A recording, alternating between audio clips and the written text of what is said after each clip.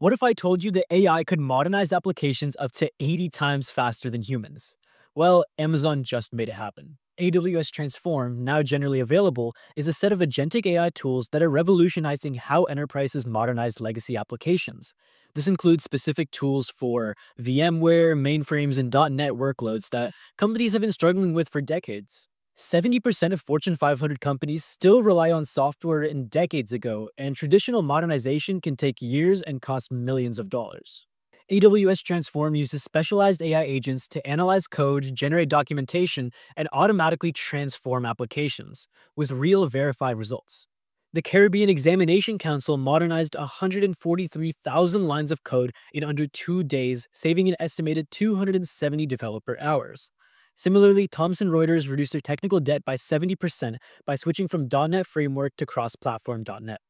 Legacy modernization has been a major bottleneck for years, and with AWS Transform, the AI revolution isn't just about generating content, it's about transforming the mission-critical applications that power businesses worldwide. For more AI-related content, make sure to like and follow, and I'll see you in the next one.